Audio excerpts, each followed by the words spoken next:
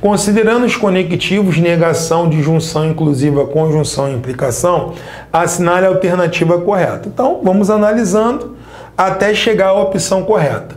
Não existem, olha o que ele está falando, não existem tautologias só com o conectivo da implicação? Errado. Por quê? Já vou marcar aqui uma estrutura.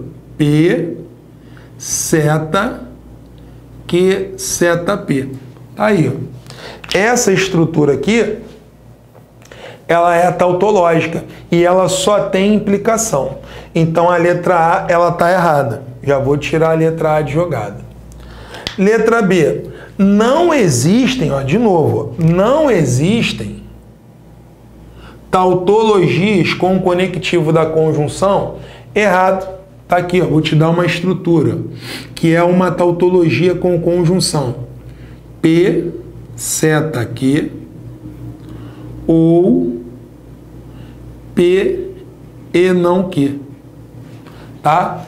Olha lá, é uma tautologia com conjunção, tá? Então a letra B, ela também está errada. A letra C. Não existem contradições sem, ó, sem que ocorra o conectivo da negação? Correto. Esse é o nosso gabarito, né, dessa questão, letra C de casa.